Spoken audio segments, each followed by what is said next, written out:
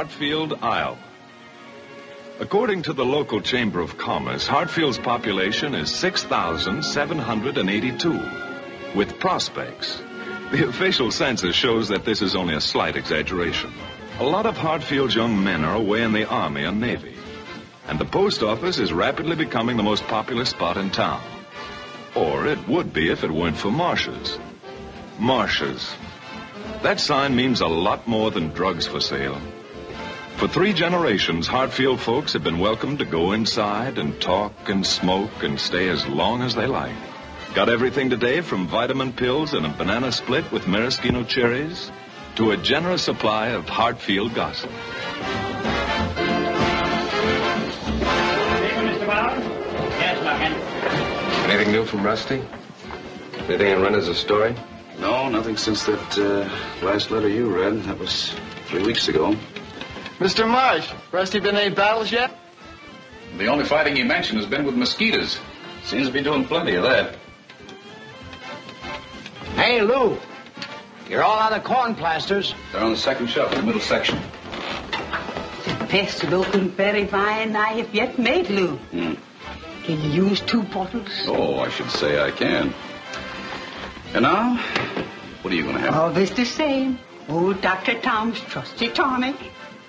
Why don't you try some vitamins? They'd be a lot better for you. Vitamins. Always I hear about vitamins, vitamins, nine. Oh, Dr. Tom's trusty tonic, yeah. I think people should be more careful what they put on their insides. Ah, Lew. Oh, Dr. Tom's trusty tonic is good medicine. Good, yeah. There you are, Mrs. Schneider.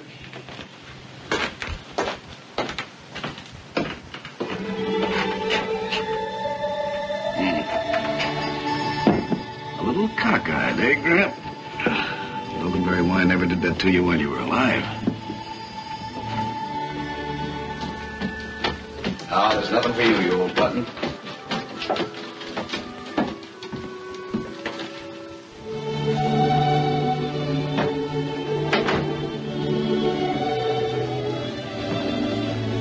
Is that you, Lew? Who were you expecting? Oh, somebody young and handsome and dangerous. That can only be one guy. Mm-hmm. Any mail? Oh, nothing from Rusty. He's busy. He has lots of things to do besides writing letters. Yes, I suppose he has. Put the soap in with the other things you're sending him, will you? Candy likes unscented. I ordered a special. Oh, that awful old Mrs. Schneider. Suppose I'd better lock them up. Guy can't even get a little bun on his own house. Well, just for that.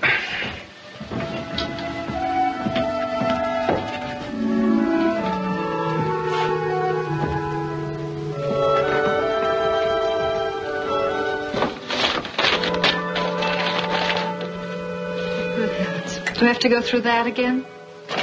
Oh, no, not that bad. In fact, I'm pretty good. Too good for meatballs and scalloped potatoes?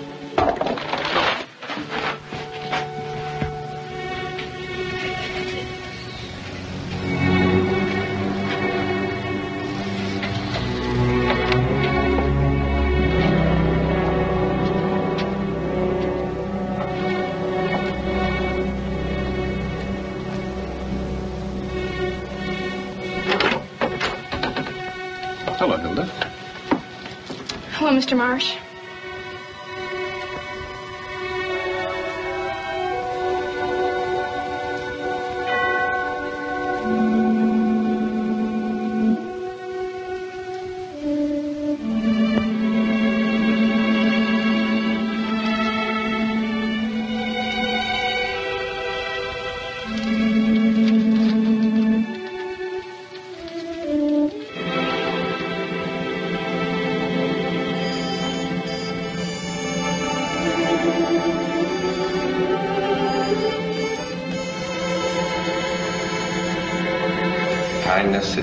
His his sunny smile endeared him to all who knew him.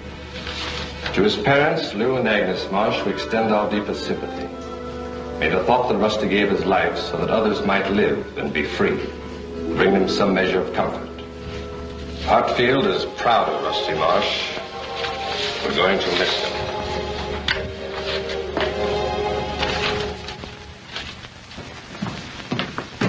May I be of service to you, sir? Where's Lew? I got a prescription. Oh, I'll be glad to take care of it. Uh, if you don't mind, I'd rather have Lew. Hello, Mr. Hibbs. Mr. Marsh isn't here. He uh, hasn't been down lately. Oh, yeah. Taking it kind of hard, ain't he? But you can rely on Mr. Clayton. He's a very experienced pharmacist from Des Moines. Pleased to meet you, Mr. Clayton. Oh, yes.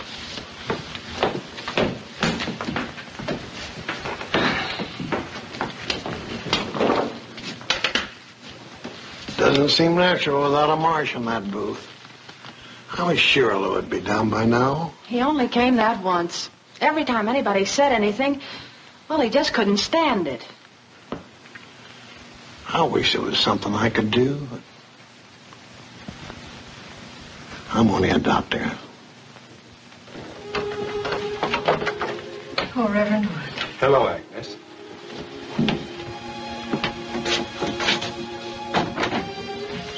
So kind of you to come. How are you feeling, my dear? Well, I'm all right. Lew, Do you think you might let me talk to him today? I don't know. If he only would, I, I know it would help. He's out back. He spends most of his time out there.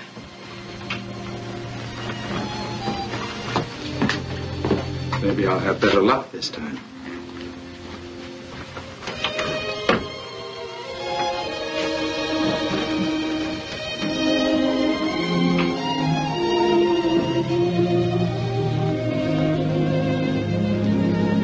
Nice and comfortable out here, Lew.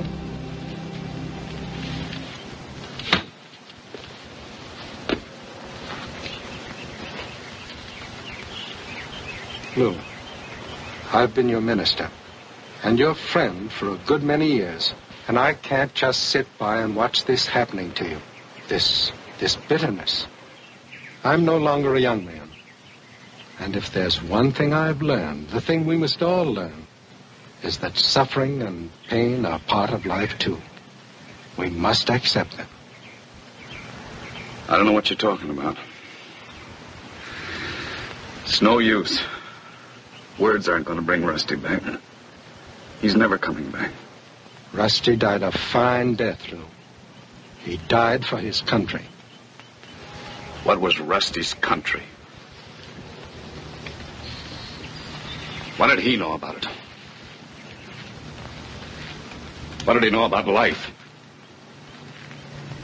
He never had a chance to live. He never went any place. Just a youngster living at home. Going to school. Working for his dad. He never owned his own home.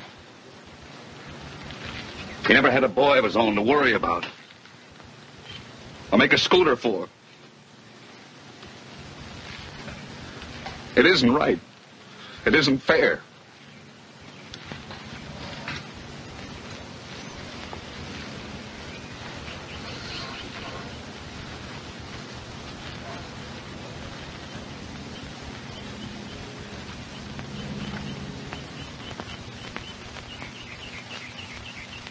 Our fathers in their pilgrimage walked by thy guidance and rested on thy compassion.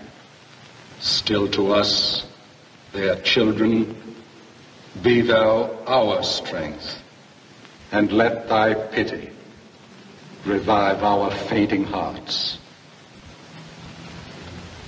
To those among us whose dear ones are being struck down in far off lands, bring thy peace and thy understanding.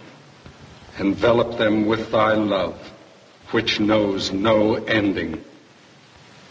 Amen.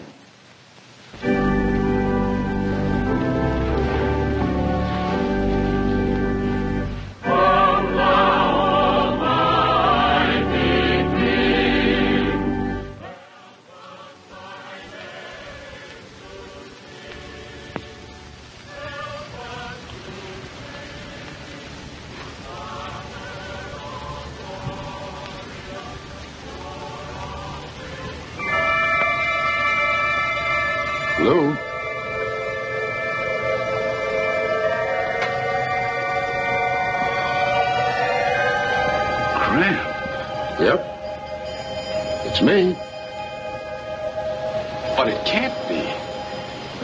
You died just after Rusty was born. That's right. 21 years ago. But.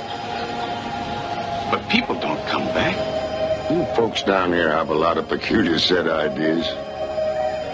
I've been hanging around, Lew, hoping maybe you could work this out by yourself. But you've been grieving so long and so hard that I just couldn't stand it. So I told the authorities I'd like to do something about it.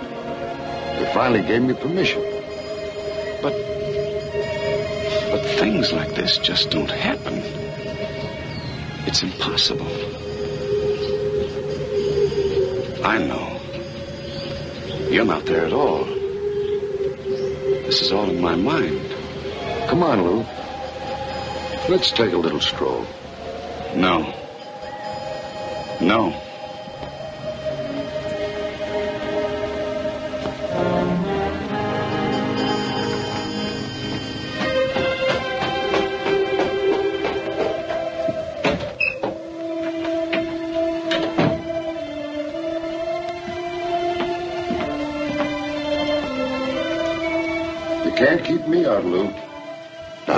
I'm situated.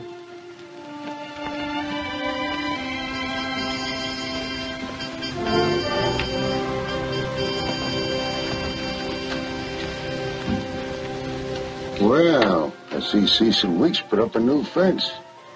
Looks a lot better than when the old lady lived there. Agnes is still mighty good looking. Lots of character. She spoke, too. I always liked her. Please, Gramp. Why, why don't you go? Agnes will be frightened.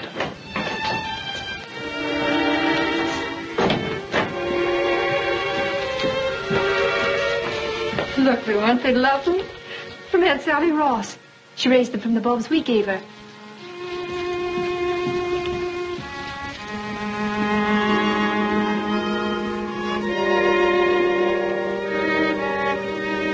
You see how it is? They can't help you out. You might as well come along. I told you I didn't want to. You'd better go, Gramp. Well, I can be as pig-headed as you. I've got all the time in the world. All eternity.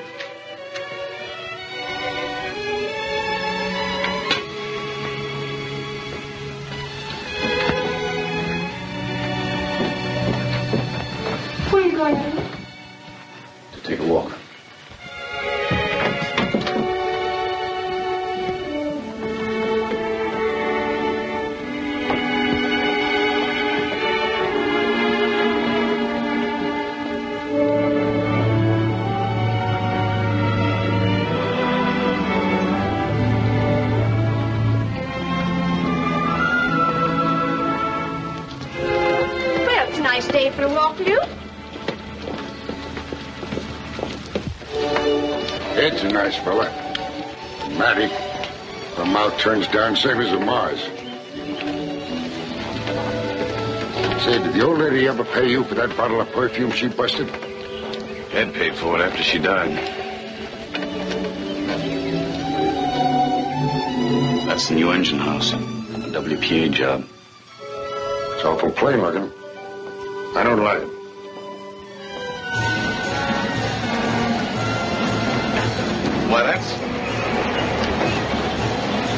Was a parade in town. Of course, there's no parade today. But there was one about 25 years ago. Remember? Come on. I'm going to show you a thing or two.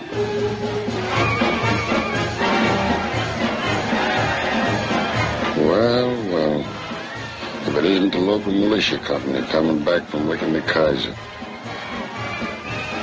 There's Bill Beecher. And Sam Kendall. And if it isn't Corporal Lew Marsh himself. Looked pretty snappy, didn't you? Yeah, I guess so. There's the GAR forming a guard of welcome or something. And there's me, I didn't have time to put on the GAR coat. That old hen Matty Dyer was trying to make up her mind about a sponge.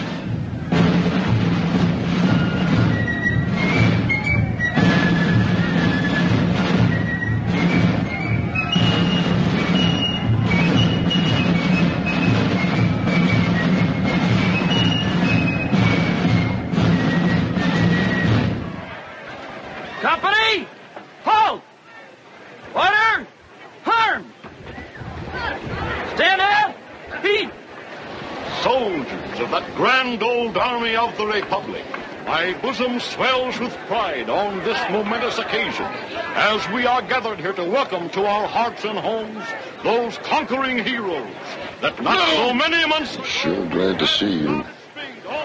Your old is more like a son than a grandson. Seeing I was both mother and father to you since you were about three feet high. I knew you were looking for someone you've been dreaming about ever since you left. I could have told you, but before I had a chance, you lit out for West Walnut Street.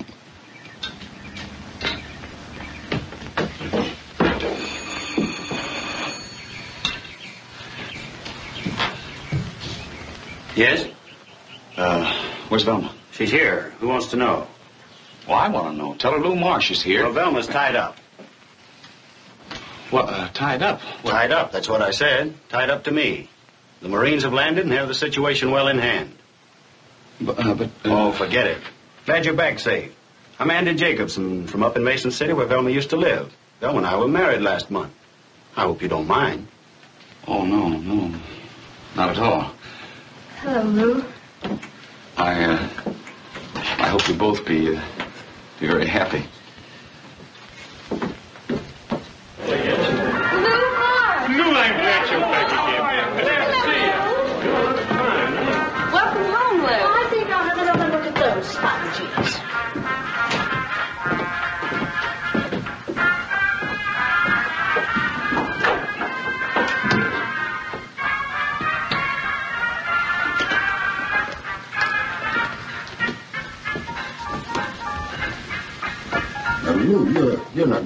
Just yet.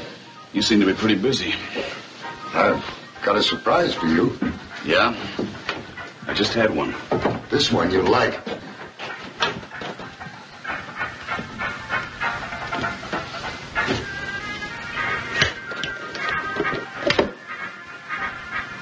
Oh, gee, Gramp.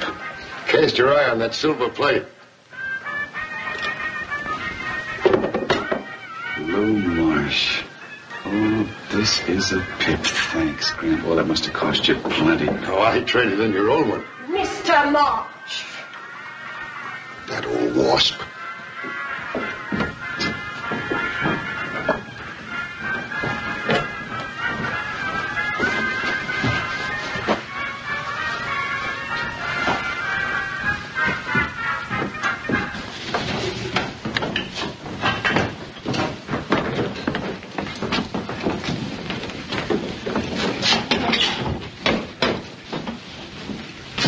Peanut dope sundae, please? Peanut dope. A dope? Oh, you, uh, you mean a peanut sundae? No, peanut dope sundae. Well, I'm afraid I, I don't. Say, Gramp, uh, what is this dope sundae? Oh, just something Agnes and I concocted. This is my grandson, Lew. I might have mentioned him once or twice. This is Agnes Dickens. Knew here about a year ago. Her father bought the Martin lumber yard. Agnes and I are pretty thick. Lew's kind of got out of the swing of things. Tell him how to put our masterpiece together, Agnes. Mr. Marsh. Keep your shirt on, Matty. I'll be right with you. Well, it starts out just like an ordinary Sunday. Vanilla ice cream.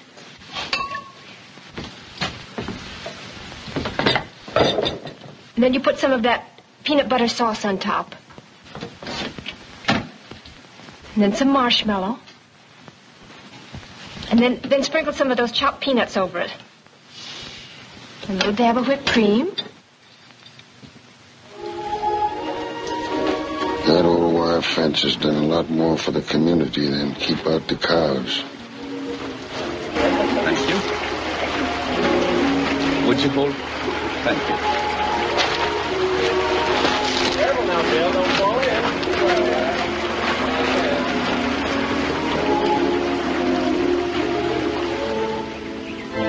That's where you and Agnes were married, Lew. Remember? Yes. I remember you got to sneezing when I walked down the aisle. 'Cause those darn chrysanthemums always did stir up my hay fever. Well, that was a happy year for all of us.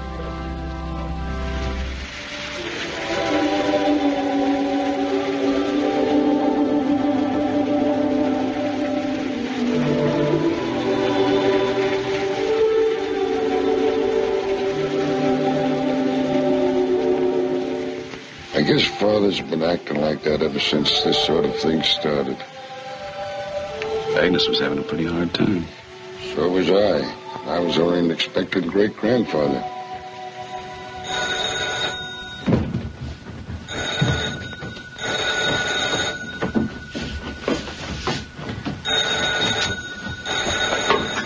Oh, hello.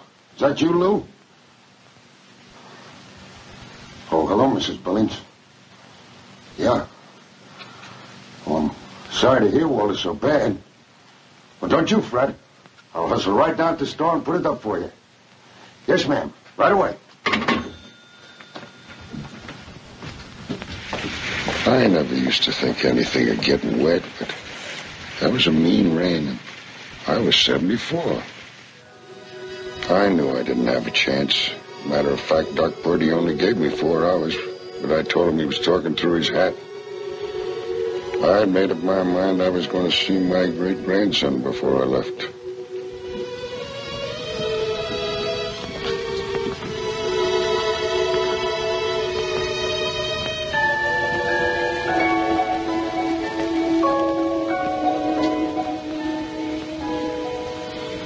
Mighty red of face, isn't he? Reddish hair, too. Hello, Rusty.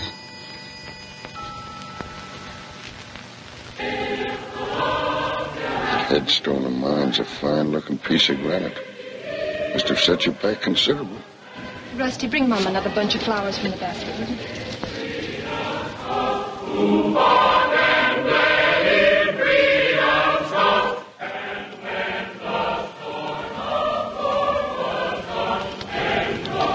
Will you have a flag pop like your pop and a grandpa when you get tired? Sure, you bet I will, Rusty. I'll have a dandy. I one. Well, there's no telling. By that time, you may have one. Now, Lew, don't tell him such things. No, honey, you're never going to have a flag. There aren't going to be any more wars. While any of us is alive. I remember how Agnes said that no more war. She was right. That's the way to bring up American kids. Not to be thinking about conquests and battles, but to learn to enjoy the homely, simple things that are right here, all around him. You know, Lew, that's one thing God intended in America forever. Kids have got to play Indian. Bows and arrows, war clubs, Daniel Boone, Sitting Bull. Nobody must be allowed to make them stop. Where are you? Answer me. Me no rusty woman. Me big chief. Uh. Me, Squaw. You come with Squaw to Wigwam, maybe lie on blanket. Big chief not want to lie on blanket. Great White Father sent for you. So long, guys. I got to go to bed. Uh. Mm, mm. Just think, my big boy's going to school tomorrow for the first time.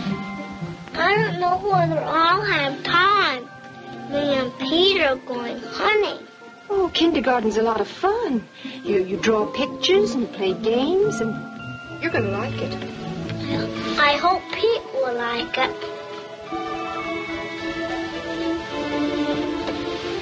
Just sit down. Good night, darling.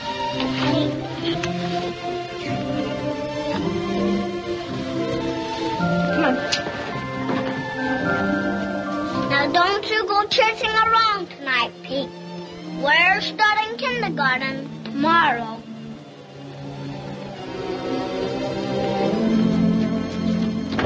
I won't, I won't, I won't.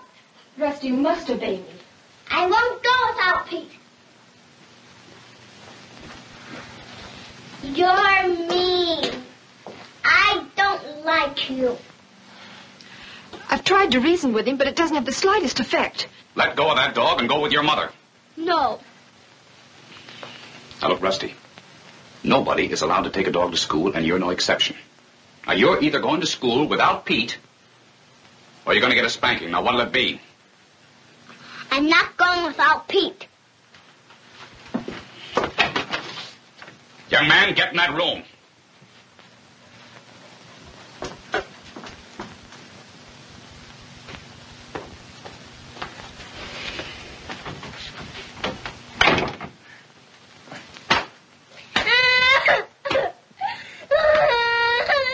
Good morning to you.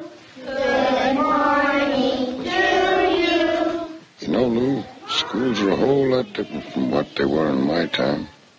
The first day I started, I had my bottom basted with a hickory stick for upsetting the water bucket. These are all yours, Rusty. You can make a bunny out of this nice blue paper, or you can draw a ship, or build a house. You can do anything you like. Miss Margie! Have you got a stomach ache? You look like you had one.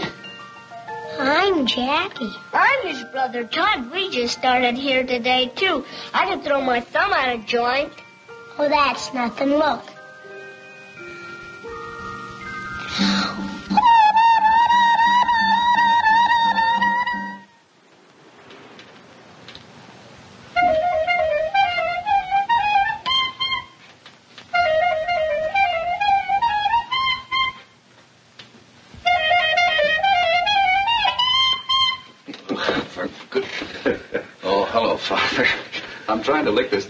Passage here. Well, that takes a bit of fingering. Yes, it Uh, let's try it again, Lew.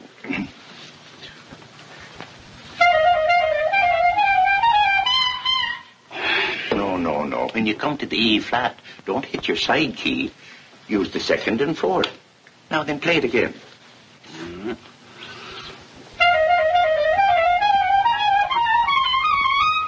There you are. Well, much obliged, Father. well, say, I, I didn't know that you. Oh, I used to play a little in college. That's a good looking reed. Yes, it is, isn't it? Now, let me see. yeah.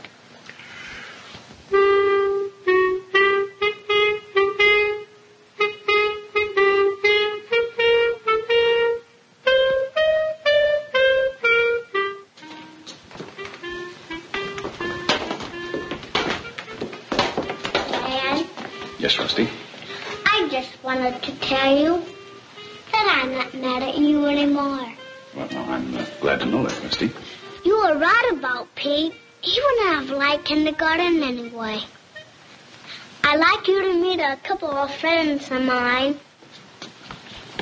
He's Jackie, and this is Todd. I'm glad to know you, boys. They just moved here from Dakota. They live in that old house by the fairgrounds. The one with the windows knocked out. Oh, yes. Have you got a million thousand tons of ice cream? Rusty said you had. Jackie's only had ice cream once. Once I had a chocolate bar. Yeah, well, now, what do you know about that? Well, look, Rusty, why don't you uh, bring your friends right up here to the counter? We'll see what we can do. Now, what'll it be, boys? Uh, strawberry, raspberry, chocolate, peach? We'll take strawberry. They'll take that first. You ought to seen the way those kids shoveled in that ice cream. No wonder. They were half starved. Seems the father didn't have a job, and another baby brother had just arrived.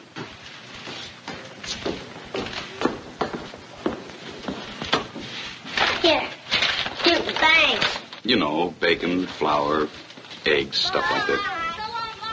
Yeah, and uh, Agnes, uh, you better get over there this afternoon. All right, bye, dear.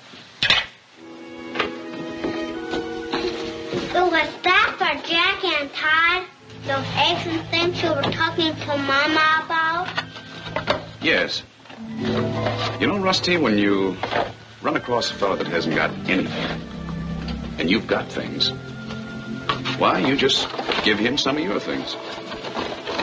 Some folks call that charity. I don't like that word. All it is is just being friendly. Can I help? Doing what?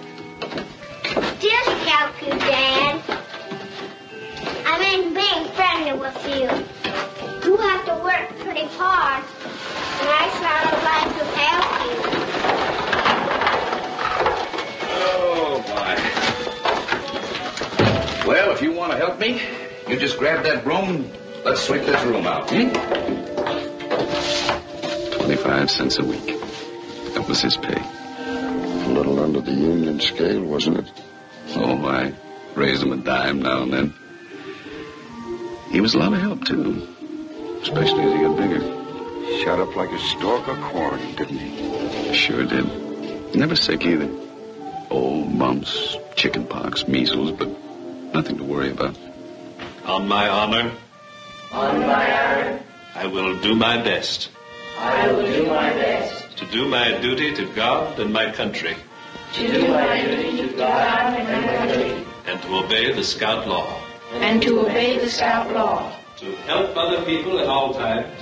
to help other people at all times, To keep myself physically strong, mentally awake, and morally straight. to keep myself physically strong, mentally awake, and morally straight. You are now entitled to wear the uniform of the Boy Scouts of America. Didn't you notice them, Pop? All the old Scouts had them on. It's not a required thing. I mean, you don't have to have an axe. But they're sure swell. And a little leather case that fits on your belt. I'm sure gonna buy myself one. It's to be kind of hard to do out of your new salary, isn't it? Yeah. But I can do it. Time and again, I used to watch him getting down that can to count over the nickels and dimes and pennies to see how close he was to that 285.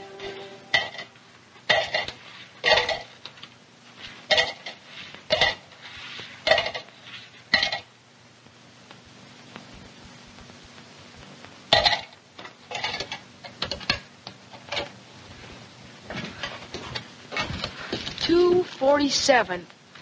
Only 38 cents to go, and I'll have an axe in time for the big hike Saturday. It's going to be an overnight hike. I'll need it to cut firewood. Mm, I should say you would. You going to be here for a little while, Rusty? Sure, I don't have to leave for another 10 minutes. That's fine. I've got to go to the post office and register this. There's a uh, man coming in for this prescription. Name is Watson. I don't know him, so be sure you get the cash. The amount's written on it.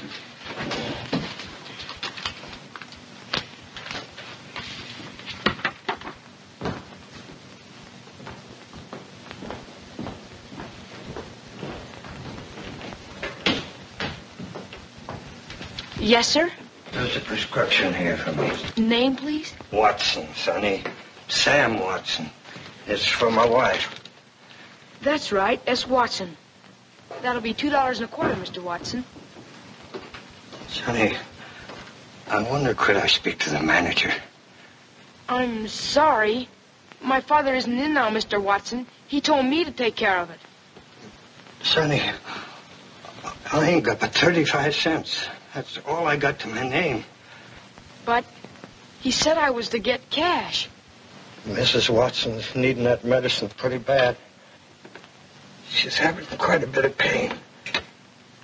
Do you think your father'd mind maybe trusting me for the other dollar ninety? Well, I don't know. I'll get some work maybe next week. And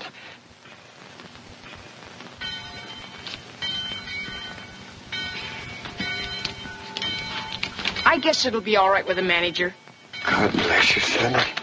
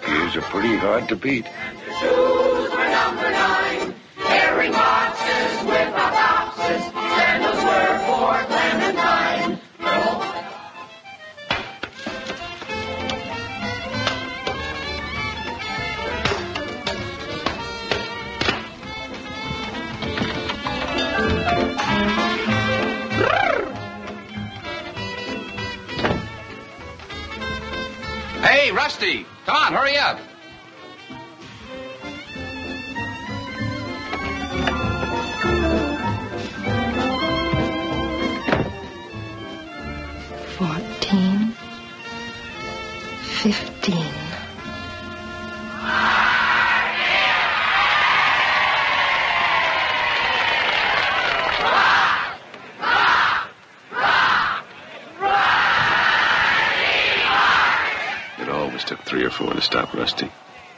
That kind of put a crimp in his football career.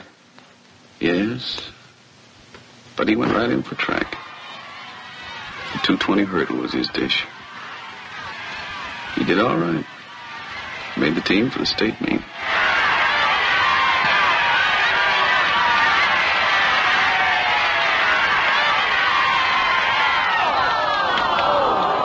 He knew he didn't have a chance now, but he kept right on doing his darndest. Was sure proud of him.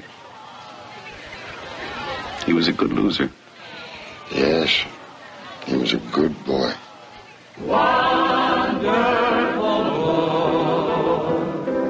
glorious boy. Wasn't especially religious, was he? Well, he didn't grow up to be a missionary, but he used to attend the young people's meetings on Sunday evenings. For a very good reason, too.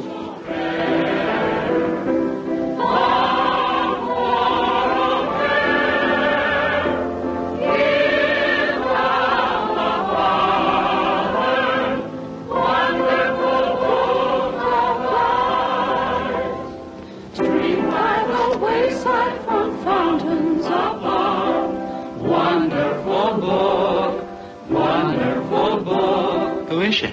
Sure, a keen baby.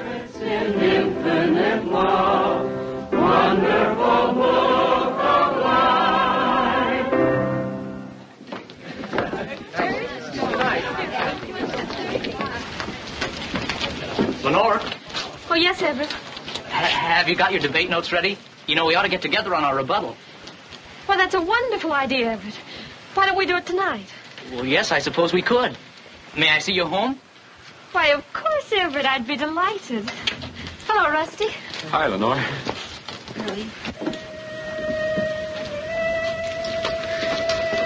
How do? It's a, it's a nice evening. Very nice. It uh, doesn't look like rain either. No, it doesn't. You know, we, we always have quite a lot of nice weather here. I hope so. Are, uh, are, are you going to live here, Miss... Uh... Oh, oh, pardon me. I, I'm Rusty Marsh. I'm Gretchen Barry. Gretchen Barry. Uh-huh. Uh, would you... Uh, can I... I mean, may I walk home with you, Miss Barry? That'd be awfully nice. Rusty. Thanks. I guess it's come. That moment that only comes when you're 18. When you go stepping along a common everyday sidewalk and think you're walking on the clouds. Yes, he had a bad. Oh,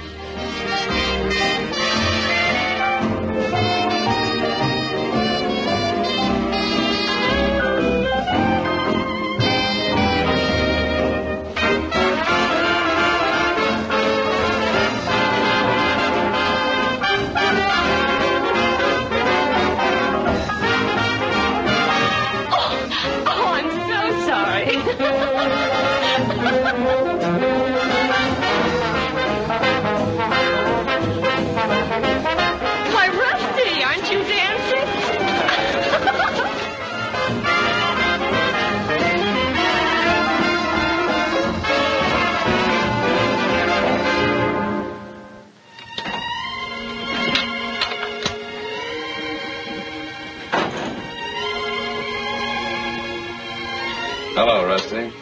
Hi, Pop. Good time, dear? Oh, swell. Wonderful. Marvelous. Well, good night, Mom. Dad. Yeah, good night, Rusty.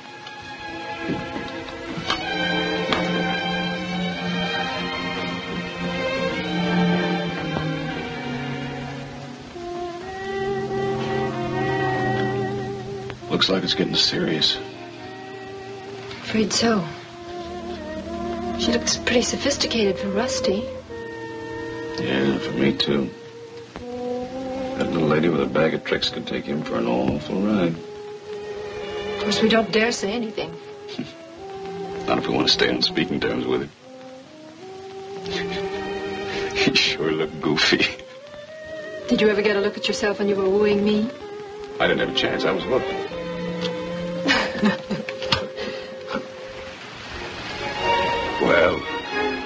Same old fence. Still doing its stuff.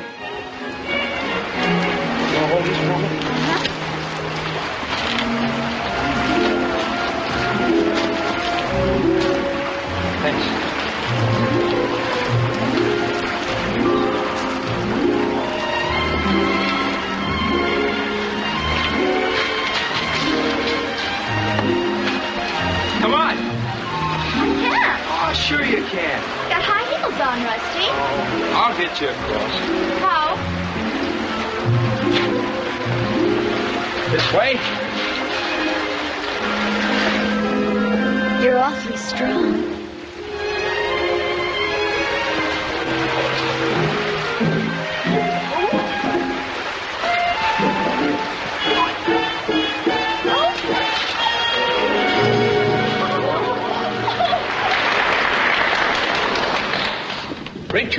Stanley Mallory.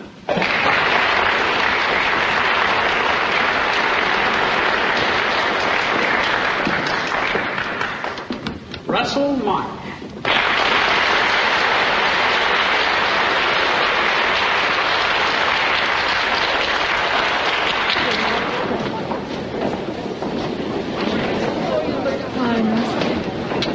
Really distinguished. Could you see my knees wobble? Yeah, I thought they were going to buckle on you. Here, Dad, uh, put these with your discharge papers. I'll, I'll see you later. I gotta take Gretchen home. Congratulations. Thanks, Bill. I just looked up at him and said, What do you mean, pension? Ain't I been night watchman here for 20 years? Any burglars get past me yet? Ben, you should have been up on that platform tonight. Well, Rusty, you all set now to go out and fly off the world. That's right, Ben. Gonna close up pretty soon, Pop? Yeah, anytime now.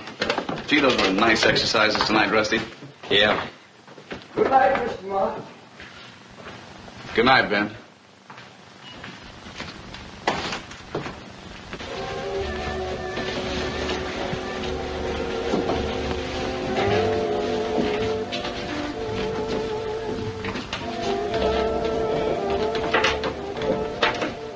What's uh, what's the idea? No, I just thought I'd open these bath salts while you're getting ready to close up. That can wait. I want to make a big display of them early tomorrow for Saturday's trade. Rusty, uh, did anything go wrong tonight? Oh, just Gretchen. What happened? Just about Sunday. I had a date with her for Sunday afternoon. I thought we'd go to Briggs Woods. There's a guy who works for her father, salesman or something. Fellow about 24 named Ted Brown. Yes, I know him. He trades here every now and then. She's got a sweet car. Buick convertible. He wanted to take her all the way down to Des Moines, have supper, and go to a movie or something. Well, your mother and I aren't going to use the Ford. I want to take that and go to Des Moines. No. Didn't I tell you? We were planning a picnic.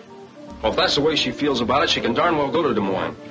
She can darn well keep on going with Ted Brown, too, for all I care.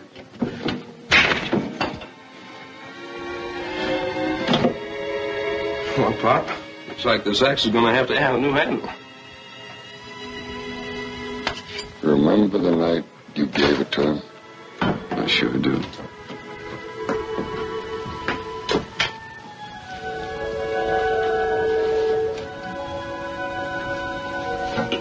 Seemed like all of a sudden he wasn't a boy any longer.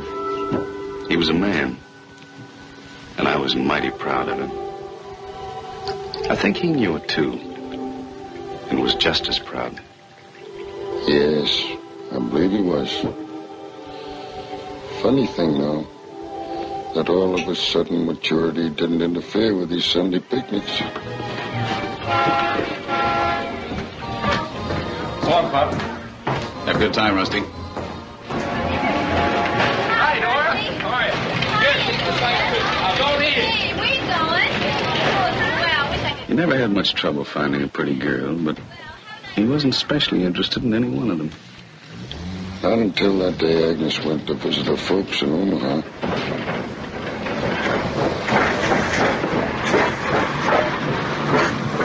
Don't forget to shut the icebox door tight. And be sure the gas is off in the oven. Well, don't feed Biff to death.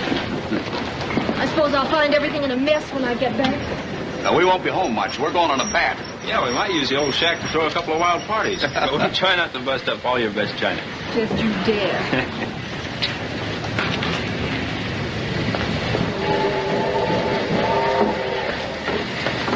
Goodbye, dear. Have a good time. Hurry back. I might miss you. Bye, Mom. Bye-bye. Don't talk to any strange men now. Look out, dear. Why, Lindell, how nice you look. Well, thank you, Mrs. Marsh. Hello. Hello, Lenore.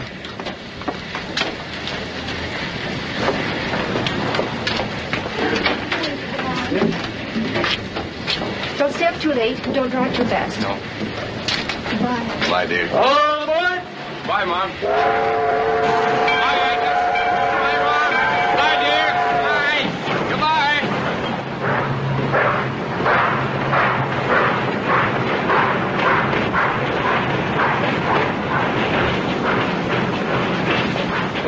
Can we give you a lift, Lenore? Oh, no, thank you, Mr. Marsh. Father's coming to pick me up. Hi, Rusty. Oh, hi. Hello, Peter. Lenore. Well, cool me off. What have you been doing? Where have you been all summer? Chicago, visiting my Aunt Peggy. Is she a miracle woman? No, she's in the advertising business. Yoo-hoo! Father! Excuse me, please.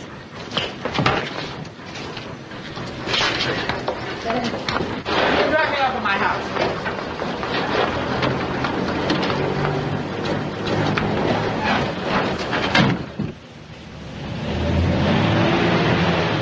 You imagine anybody changing like that? Oh, I don't know. Pretty dress, cute hat, a few new ideas she picked up in Chicago. Her Aunt Peggy was quite a girl. But I, I think it's the same old Lenore. Same old pain in the neck. Yeah, yeah. I'll help you, Lenore. Careful.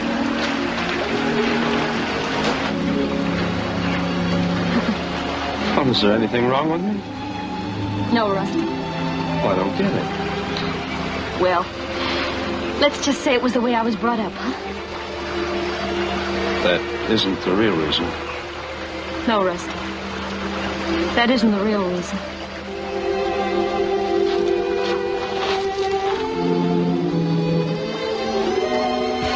Carry you? No, thanks. I can make it. Okay.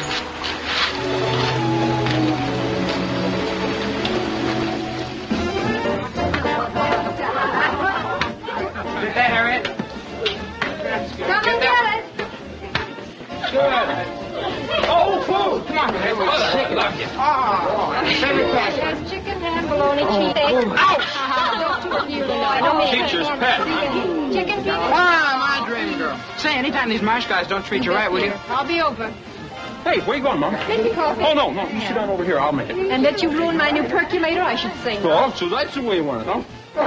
okay. ah, take it easy, dream girl. We interrupt the program of dance music for a late bulletin. A communique from the German High Command announces that the German Air Force now has complete control of the air over Poland. Their ground troops, estimated at one million men, are advancing victoriously in the face of stubborn enemy resistance. The big bullies, why don't they pick on someone their own size? Polish cavalry's the best in the world, but you can't fight tanks with horses. Yeah, but just wait till England and France crack down on those goose steppers. They declared war, all right. They don't seem to be doing much fighting. Well, who wants to fight? Well, who wants to go around with a big German foot on his neck?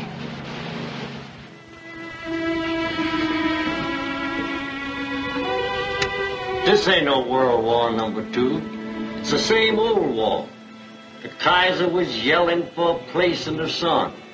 And this crazy man, he's screaming for Lebensraum. Well, it's the same thing. Weasel talk. It's the same old bunch of gangsters and killers out to make slaves of the rest of Europe. This time they're liable to do it. Look what their bombers are doing to Warsaw. They'll have Poland washed up in a couple of weeks. What's going to keep them from doing the same thing to Paris and London? Yeah, what's going to stop that guy? Planes, among other things. The Canadian Flying Corps is asking for volunteers. Doesn't make any difference whether you've got any flying hours or not. How do you know? I checked up on it today. So did I. Good luck to you, boys. Good night, Mr. Morris. Night, man.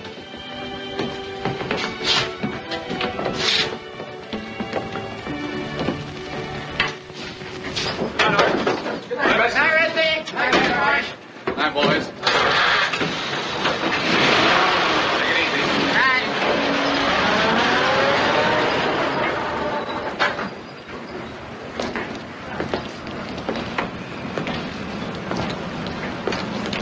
Well, I suppose you've got a notion you'd like to go with them, eh, Rusty?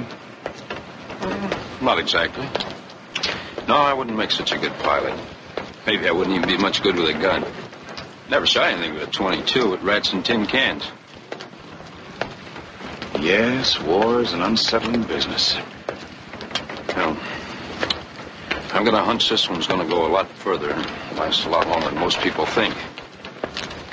Makes the guy feel like he wants to get straightened around and, well, head for somewhere. Still feel the same about college? I'll help. You want to go to IOU? Why should I go to the university? I don't want to be a doctor or a lawyer or anything like that. Just be a waste of time and money. I, um, guess I've been some help to you in the store, haven't I, Dad? Well, maybe. Little.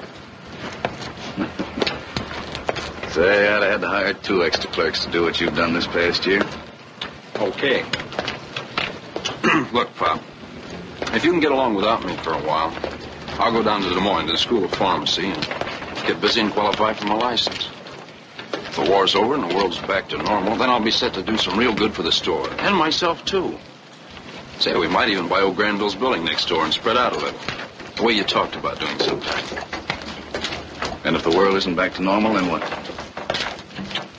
Well, I guess I'll be a lot more good to the Army or Navy or Marines or somebody as a skilled technician, even in pharmacy, than I will be as an unskilled recruit. What do you say, Dad? I say you better plan to go down to Des Moines.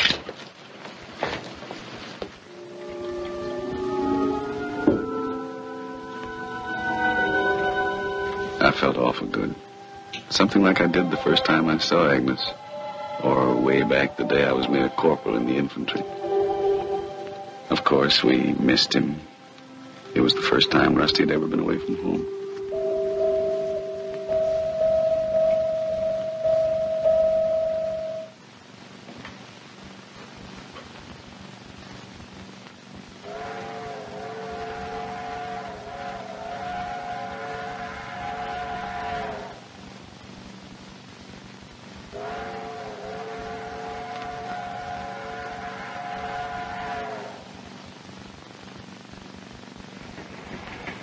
Pretty nice country, Lew, isn't it? The finest there is. We're pretty lucky. Maybe that's what Rusty's thinking. Or maybe he's just feeling a little puffed up coming home with all those good marks. He did all right down there. Worked hard.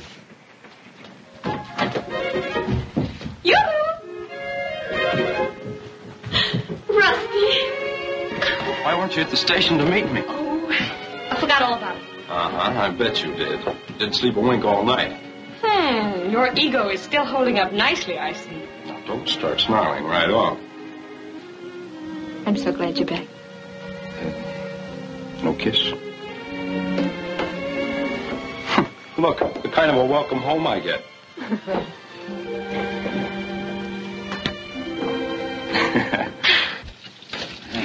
Kind of droopy. It's like Goldberg's been working on it.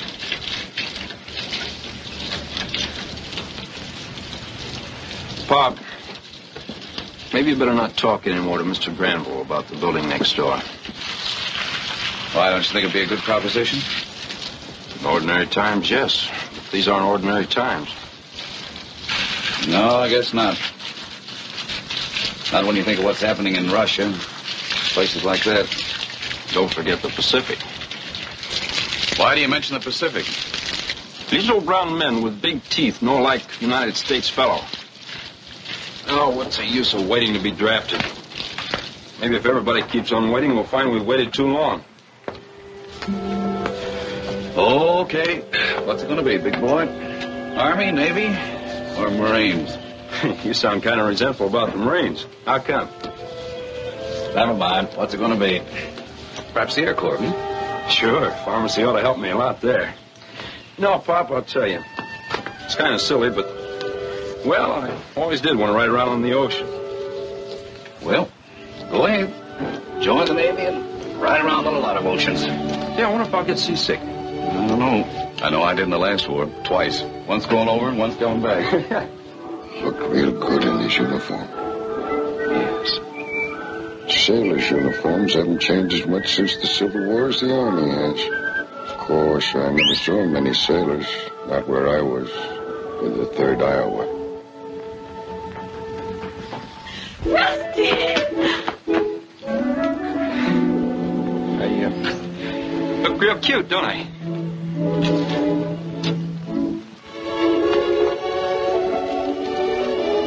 Well, doesn't doesn't this kind of get you? Yes. Okay. Right here. Well, Well,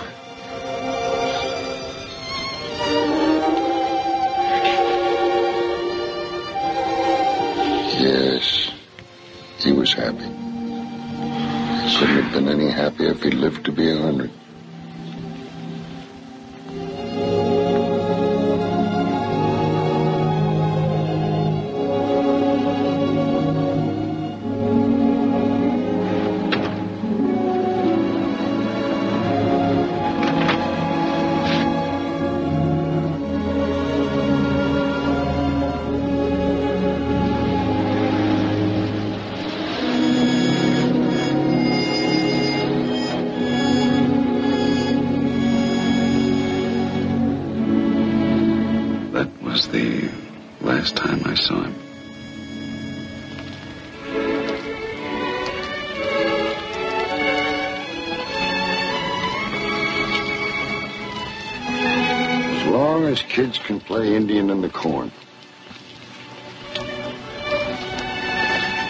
I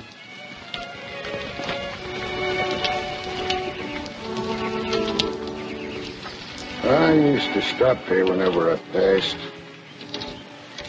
Little weakness of mine.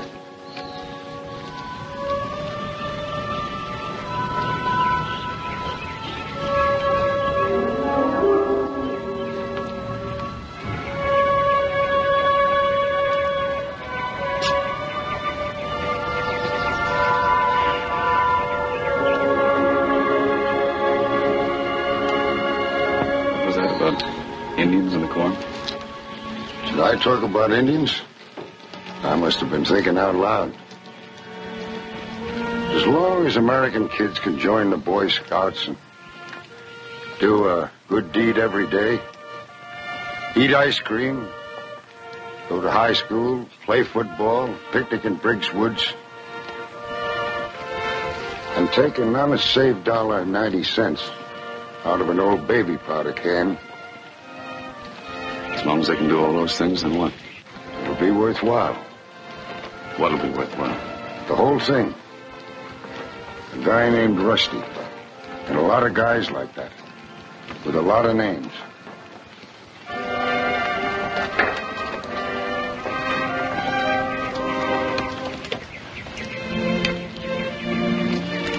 Don't you think so, Lew? Rusty did lead a rich life. You're right about that. I'm glad you took me for a stroll around the town. And I know all the other things you're hoping I'll say. But I can't. He was my boy. Now he's he's dead. I miss him. Can't help it. I'll always miss him. I'll always wish he was back. As long as I live. Of course you will, Lew.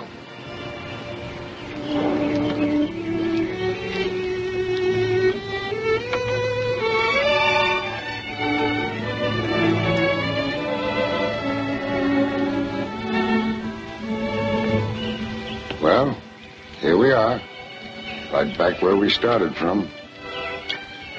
Gramp, it's kind of awkward with Agnes not able to see you, but if you want to stay and sit down to supper with us. You forget my peculiar situation, Lew. Anyway, I've got to be getting back. Why, Lew Marsh. Where on earth have you been? Oh, just just taking a little stroll.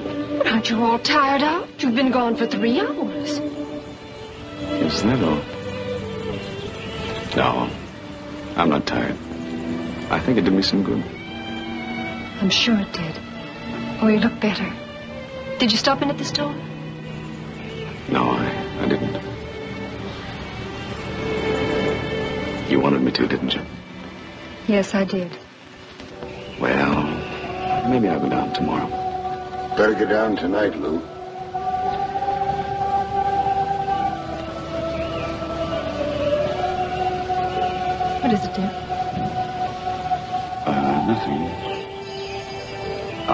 Was uh, just noticing the hedge. It looks a little ragged.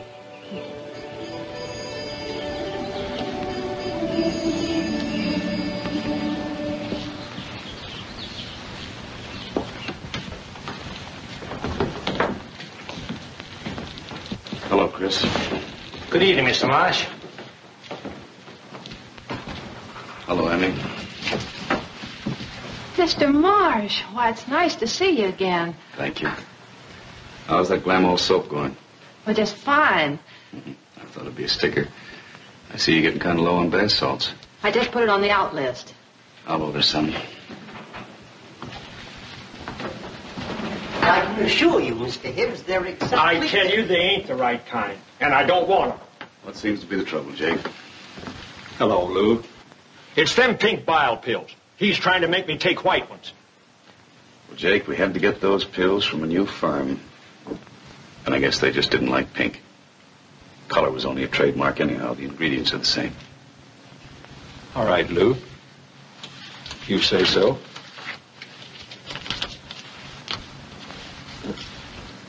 So long, Lew.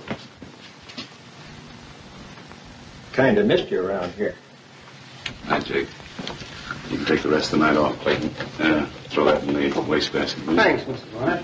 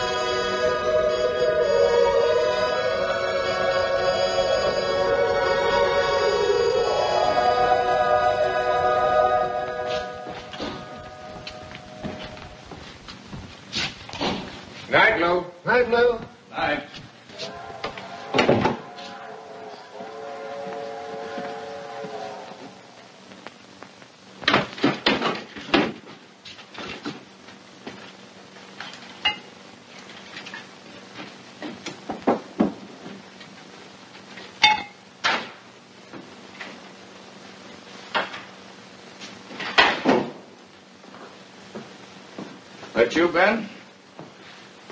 No, sir. Are you Mr. Marsh?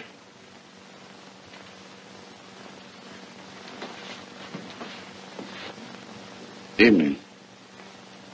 Yes, I'm Mr. Marsh. I'm Anton Kavrak.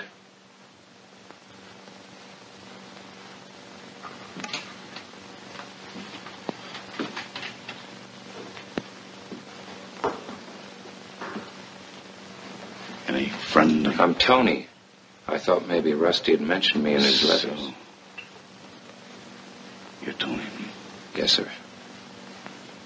Uh, what do you know? Sure, Rusty mentioned you in almost every letter. Mentioned Chicago. That's your home, isn't it? Yes, sir. Such a home as I've got. I've been on my own since I was 16. Well, well. This looks kind of familiar. I don't know whether Rusty told you, but I used to jerk sodas in Chicago. You got a nice fountain there, Mr. Marsh. Well, let's finish what you were doing. Here, hand them up to me.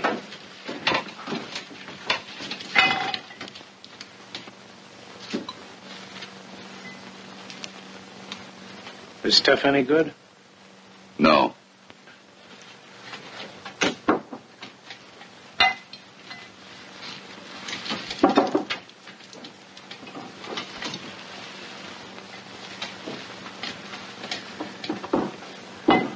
Well, that's that. Thanks a lot. Would you like a cigar? I wouldn't mind.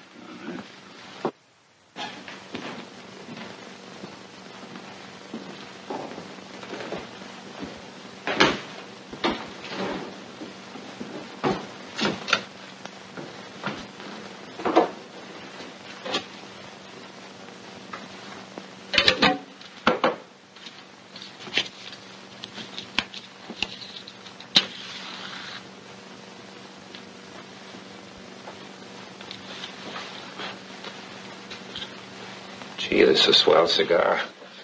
I don't very often smoke cigars, cigarettes usually. You know how it is. This is swell. Look, uh, are you bound for Chicago? When do you have to leave? Oh, no special time. You see, Mr. Marsh, it was like this. Rusty and I used to talk about about what might happen. And see, I haven't got any folks or anything. But Rusty always said if anything happened, to him, he said I ought to come when I got a chance and call on you and his mother.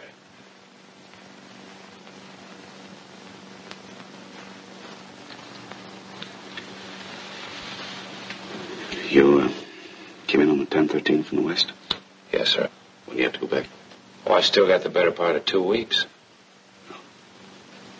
Well, I guess I better call Rusty's mother and tell her we're coming. Yes, sir.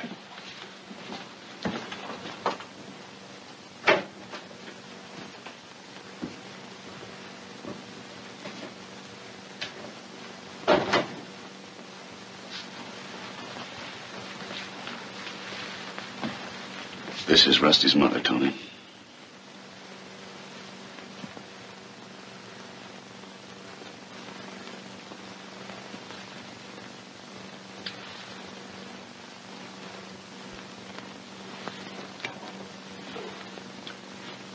Mother, where are we going to put this big tramp for sailor?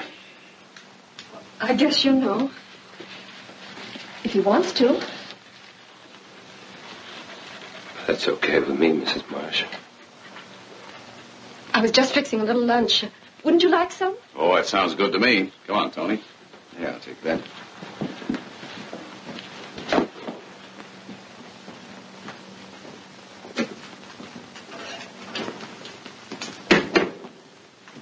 You like veal loaf, don't you, Tony? You bet I do.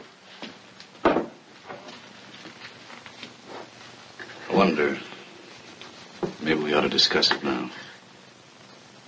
Is there anything you feel you to tell?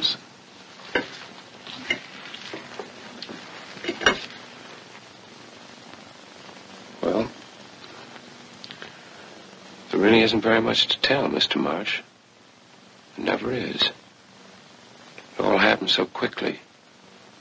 We weren't surprised, but they had a lot more planes than us. They kept coming over pretty fast. Rusty was down below in the sick bay. It was his job, you know. Something must have hit us below the waterline. An aerial torpedo, I guess. Last time I saw Rusty, he was coming up a ladder, carrying a fellow that had been hurt. Before he could get up, another torpedo hit us. I was blown into the water, so I didn't see anything else that happened. If Rusty hadn't been carrying somebody, he might have made the deck. I guess that's about all I can tell you. Except that I thought quite a bit of Rusty.